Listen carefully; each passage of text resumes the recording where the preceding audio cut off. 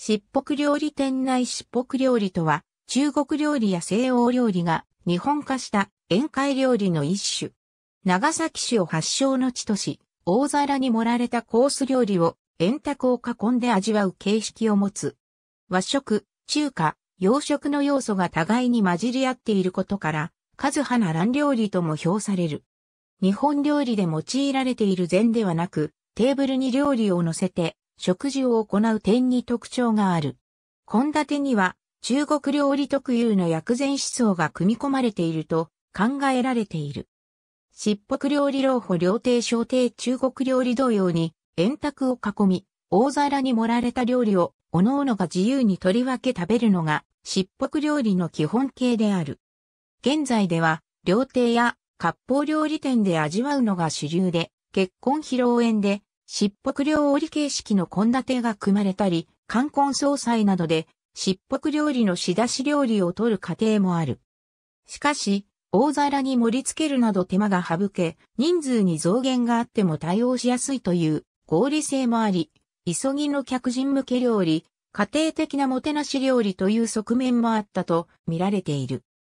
中国料理の宴会と異なり取り箸は用いず、各自の磁気箸と丼水と呼ばれる陶器のさじを用いて、各自の取り皿に取り分けて食べる。現在の漆北料理は、おひれ、ひれワンと呼ばれる吸い物でスタートする。スープで宴会が始まるのは、関東料理と共通する形式である。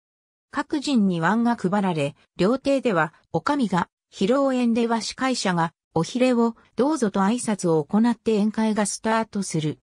参加者全員が吸い物を空にした後、主催者の挨拶が行われ、乾杯をする。その後、大皿に盛られた料理が次々と振る舞われる。料理の内容や品数は、店や予算などで異なる。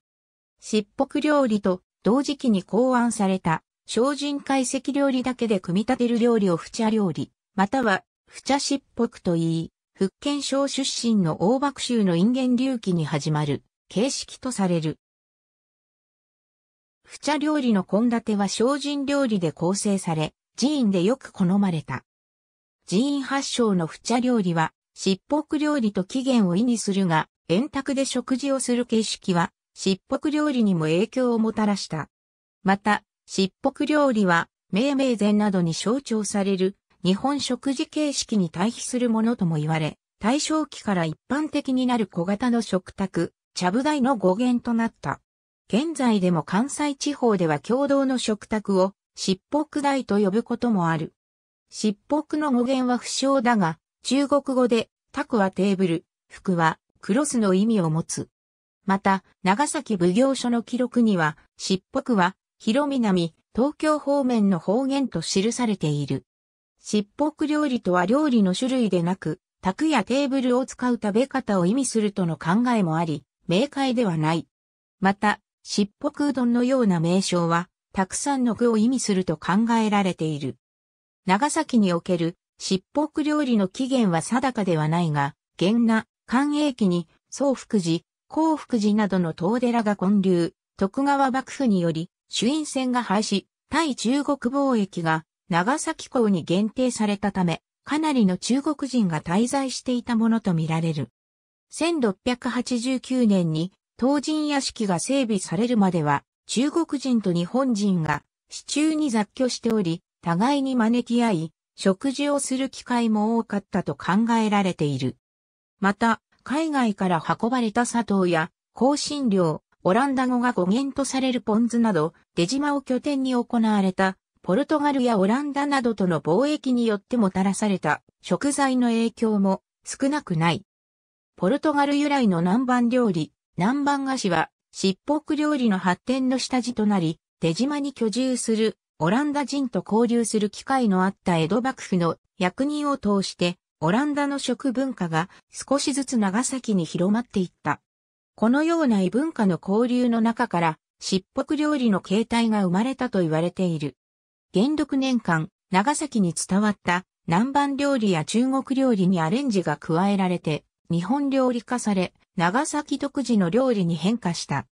やがて接待、宴会の際に日本化した舶来の料理を自宅に取り寄せるようになり、それらの仕出し料理を専門とする料理屋はやがて、料亭に成長していった。1761年、長崎に入国していた、新国人、五重重が、山西金右衛門を船に招いて、中国式の料理でもてなしたという、八選択園式記の記述が、漆北料理についての最古の記録である。漆北料理を食べた者の中には、商人や芝交換をはじめとする蘭学者以外に、大名もおり、薩摩藩藩主、島津重秀、鍋島直政などの佐賀藩藩主の名前が挙げられる。文化、文世紀前後には、江戸で一大ブームになる。一人一人に膳が出されるのが普通であった当時の人々にとっては、一つのテーブルを囲んで大皿で食べるという中国式のスタイルは物珍しかったという。江戸古典落語に登場する桃川は、漆北料理屋として創業したと伝えられる。従来の日本料理のマナーを引き合いに出して、面倒さや煩わしさがなく、各々が料理を好きなように楽しめると、漆北料理を評価した記録も残る。また、江戸だけではなく京都、宇治、大阪といった上方の都市でも、漆北料理と不茶料理が食されていた。この頃になると、料理名こそ中国風であったが、その内容は日本料理、中国料理、南蛮料理が入り混じった独特のものに変化していった。もっとも、江戸や上方での漆北料理の食材には、牛肉は使用されておらず、当時の日本人の食習慣に合わせたものとなっていた。江戸や京都で流行した漆北料理は次第に廃れていくが、後に長崎で復興する。1900年代には、現在の漆北料理の様式と献立が成立する。しかし、1950年代には、南蛮料理、中国料理の様式を保つ、漆北料理が反時代的と批判を受ける。通常の漆黒料理では、料理の種類によって出る順番が決まっている。使われる料理については、決まった形式のものではなく、店によって特色が出るのが習わしとされている。ありがとうございます。